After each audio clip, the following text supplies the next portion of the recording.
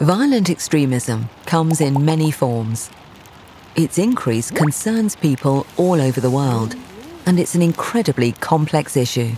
In an effort to tackle it, the EU funded research project PAVE was launched. PAVE stands for Preventing and Addressing Violent Extremism Through Community Resilience and aims to examine the root causes and driving factors of radicalization. In particular, it seeks to better understand how to prevent and mitigate violent extremism in the Middle East, North Africa, and the Western Balkans. To reach these goals, the project strives to compile evidence based knowledge in several local communities across seven countries. PAVE consists of 13 international partner institutions from 12 different countries.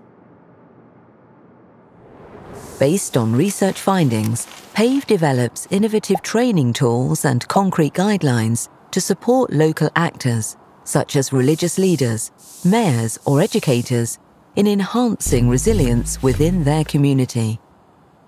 To reach its goals, PAVE focuses on four research areas the interplay between religious, political, and ethnic or sectarian extremisms the interaction between religious and state institutions, how extremist narratives, online and offline, influence radicalization and de radicalization, and transnational interactions, including their impact on and from Europe.